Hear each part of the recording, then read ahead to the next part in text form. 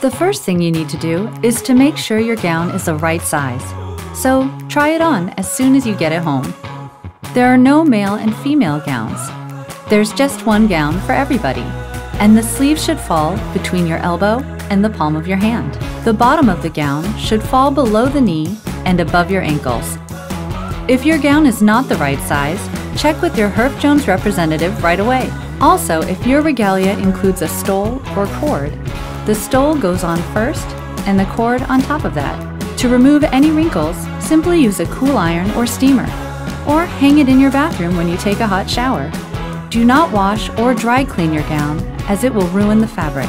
To know which side of your cap faces forward, just look inside for the word front. The tassel attaches to the button on the top of the cap and hangs on the right side.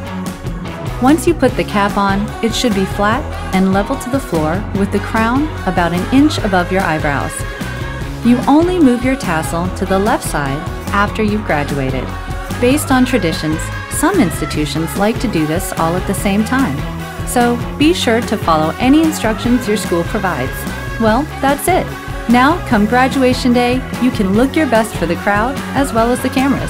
Congratulations!